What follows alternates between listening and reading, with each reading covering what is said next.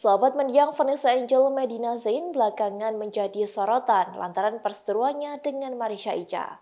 Baru-baru ini dirinya mengumumkan akan membangun sebuah yayasan pesantren dari tanah miliknya seluas 4 hektar dan akan diberi nama Vanessa Angel serta Galaskai.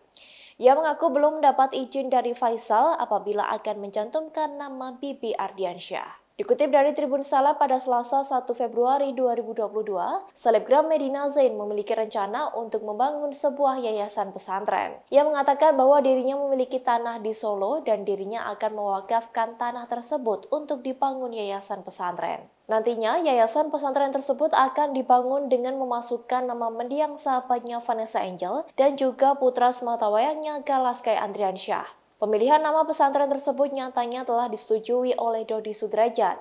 Hingga akhirnya Medina Zain memutuskan membangun sebuah yayasan pesantren. Hal itu diungkapkan oleh Medina di Polda Metro Jaya pada Senin 31 Januari 2022. Di tanah milik keluarganya itu, Medina Zain berencana akan membangun pesantren untuk yatim piatu secara gratis. Tanya itu, dengan luas tanah hingga 4 hektar, sudah ada masjid yang kokoh terbangun.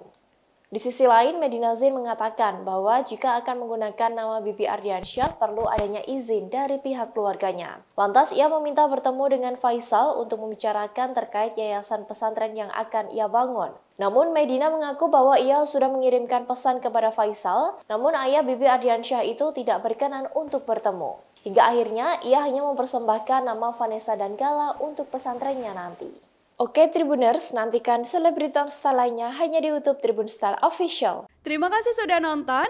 Jangan lupa like, subscribe, dan share ya.